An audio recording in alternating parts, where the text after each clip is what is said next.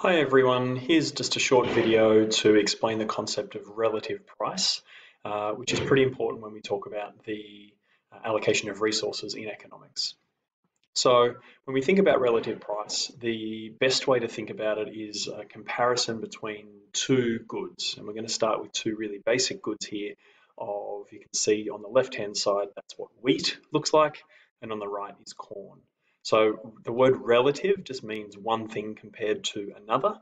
Um, and so what we're going to start with is just a price comparison. So here, let's just got prices per kilo. And at the moment, uh, for scenario one, if you like, both corn, uh, both wheat and corn uh, are priced at $5 per kilo. So exactly the same price. Then let's say there's a market condition which forces a change to the price for just one of these goods. In this case, it's going to be corn that increases in price.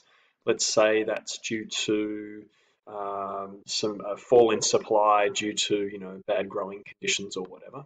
And as a result, you can see here the price for corn has risen and the price for wheat has stayed the same. So, so far so good. Um, we're still within concepts that we fully understand.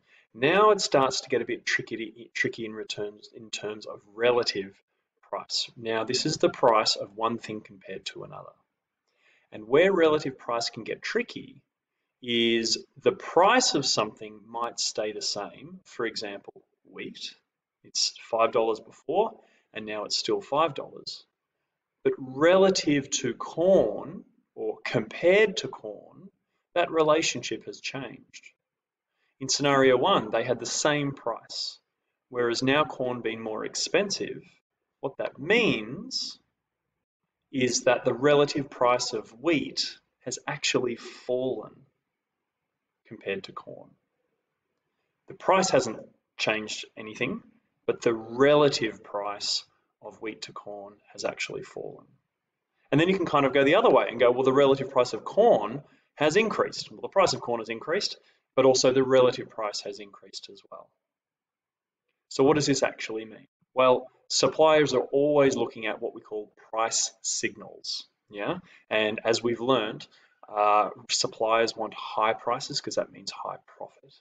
So what suppliers see here, okay, well, if you're supplying wheat at the moment, you're a farmer and you're farming wheat and you see the price of corn has doubled, what do you think you're going to do with your crop?